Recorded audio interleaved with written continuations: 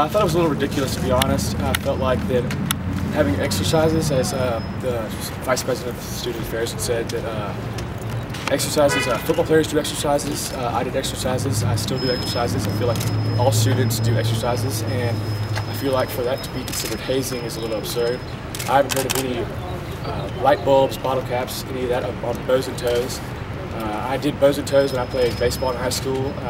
it's a good workout, It's the abs abs going, uh, so I don't see that as a problem necessarily. And I also heard that uh, the hazing hotline is all anonymous, and I don't understand how that somebody could technically anybody could call on the hazing hotline. It doesn't have, just, uh, doesn't have to be a Greek member. It could be anybody. And I don't see how that actually gives them credibility to say anything on the hazing hotline. How so, is this going to impact your fraternity um, and your experience on campus? Honestly, I'm not upset about not having pledgeship for my sake, but I'm upset for the, the uh, pledges because uh, basically pledgeship is for, uh, for at least for my fraternity, and I know a lot of others, is basically to get the pledge class together, have a brotherhood, that kind of thing, and I feel like it's a little ridiculous that they're taking that away from me. What fraternity are you with? Delta Kappa Epsilon. What, with any kind of certainty, can you say there is no hazing, or at least the hazing that uh, Dr. Nelson described that is not going on?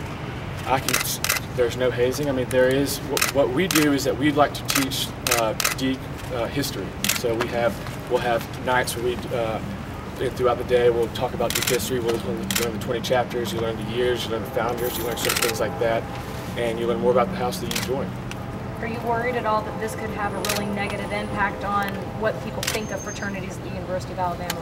Yes, I think it's a very negative impact. I feel like that it's, uh, I don't understand that somebody that wouldn't want to have the respect of their actives, that wouldn't want to learn the history of the house and they join, I feel like that everybody wants to do that with a fraternity. Do you think it's possible that fraternities that you're not a part of could have had more severe hazing? Have you ever heard rumors of that sort of thing? I hear hazing rumors all the time. I feel like that it's just everybody does their own thing, um, but you said that pledgeship is about forming a bond, and the houses that do do things like the exercises, how do you think doing that kind of stuff forms a bond? I would say that if you, say for instance, uh, let's say that if you, when you become, you're just graduated high school, so you come to college, you're a little immature, you, uh, gotta learn new things, you gotta learn to do certain things, and you gotta learn uh, to be, like when I first came, when I first, when I was a new boy, I was very immature, um, uh, grades were terrible. I didn't care about school. Uh, I didn't care about getting involved with internships and whatnot. And what doing certain things like that, which weren't to the extent that have been said, are, I mean, that's something that you just experience with your pledge brothers. You get the brotherhood with your pledge brothers, and you meet the actives when they're doing that. Because without doing certain things at the house to kind of meet the actives in that certain way, it won't. You can't even meet the actives. I mean, you, you can't bond. Yeah, no brotherhood with that. And you, I mean, there's. Where do you go from here? I at least have pledgeship next year.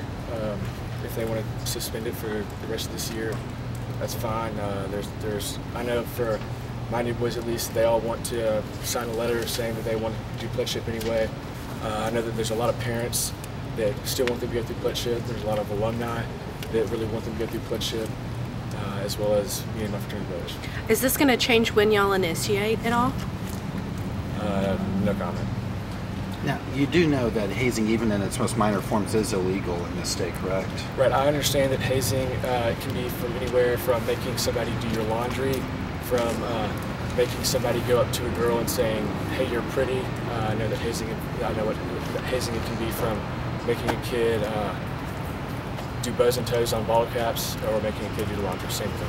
Why do you think the university is taking this stance on these allegations? It, it sounds like they're they're taking it more seriously maybe than in years past. I honestly don't understand why. I know that uh, uh, Dr. Tim Hebson, he gets uh, phone calls every day and he gets uh, emails every day from certain parents saying things and I remember him saying that unless there's credibility in it that he can't do anything about it and he won't do anything about it. And I honestly don't see any credibility in taking somebody's word off uh, via phone call. Can you say and spell your first and last name one more time? Jake Morrow, J-A-K-E-M-O-R-O-W. And Jake, are you an officer in D? Uh, rush How do you how do you respond to allegations of uh, hazing related to alcohol? You know, at best, you know, fraternities are accused of providing alcohol to minors, which is illegal, and at best, forcing them to drink. Right. Well, I would say that uh, the majority of um, the majority of people, if you're a fraternity, whether even if you're not a fraternity, uh, it doesn't matter. Uh, nobody forces anybody to drink alcohol. You have your right to say no.